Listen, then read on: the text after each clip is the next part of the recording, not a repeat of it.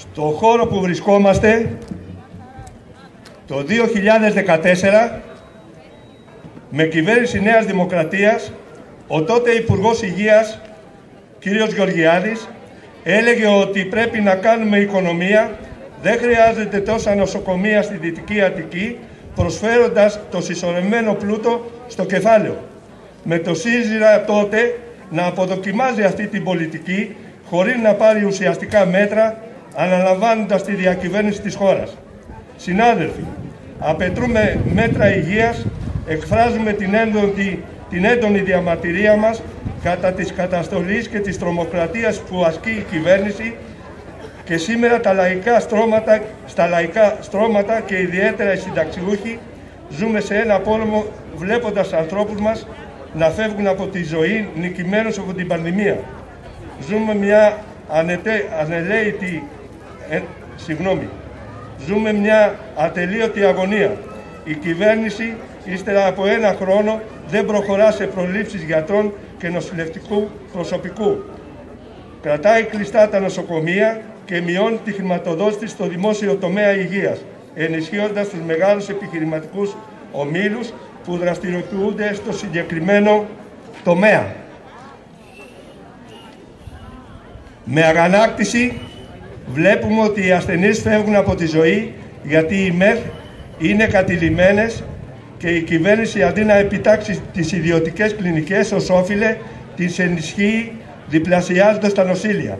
Ακόμη πολλοί συνταξιούχοι φεύγουν από τη ζωή γιατί εκτός από το COVID υπάρχουν και άλλες ασθένειες που παραμελούνται αφού προγραμματισμένα ραντεβού αναβάλλονται.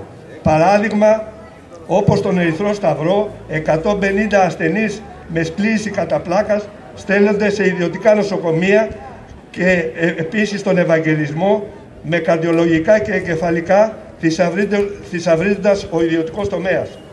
Δεν υπάρχουν κέντρα υγείας σε κάθε περιοχή και όπου υπάρχουν ουσιαστικά υπολειτουργούν αφού έχουν τεράστιες ελλείψεις σε γιατρούς, νοσηλευτικό προσωπικό και υποδομές. Τα εμβόλια καθυστερούν λόγω ανταγωνισμού μεταξύ των εταιριών και κρατών. Η κυβέρνηση, αντί να επιλέξει το συμφέρον του, ε, του, λαού, υποτάχθηκε σε αυτούς τους ανταγωνισμούς με αποτέλεσμα τα εμβόλια να έχουν καθυστερήσει χαρακτηριστικά. Έχω ένα ατύχημα, μην παραξηγείτε, γιατί το μάτι μου είναι αυτές τις μέρες χάλια. Αντί να ικανοποιήσει τα δίκαια λαϊκά αιτήματα για την προστασία των λαϊκών στρωμάτων, επιδεικνύει απαράδεκτη συμπεριφορά στέλνοντας στις λαϊκές κινητοποιήσεις, τα ΜΑΤ και άλλες μονάδες καταστολής, ξυλοκοπώντας και ή συλλαμβάνοντας διαδηλωτές. Με τη συμμετοχή μας απαιτούμε άμεση την πρόληψη γιατρών, άλυμα των κλειστών νοσοκομείων, δημιουργία ιατρικών κέντρων, επίταξη των ιδιωτικών κλινικών, δημόσια και δωρεάν υγεία για όλους, με κατάργηση συμμετοχής στα φάρμακα, κατάργηση των κρατήσεων 6% από τις συντάξεις για την υγεία. Με τη σημερινή συμμετοχή εν ώψη της Παγκόσμιας ημέρας Υγείας, στέλνουμε αγωνιστικό μήνυμα στην κυβέρνηση, στην κυβέρνηση, στην αξιωματική αντιπολίτευση και σε όλες τις πολιτικές δυνάμεις που υποστηρίζουν τα συμφέροντα των μεγάλων επιχειρηματικών ομίλων σε βάρος των ε, λαϊκών στρωμάτων. Τέλος, συνάδελφοι, θα πρέπει να ξέρουμε ότι ε, στον δρόμο του αγώνα βρίσκεται η λύση, ψηλά το κεφάλι, τίποτα δεν μας έχει χαριστεί.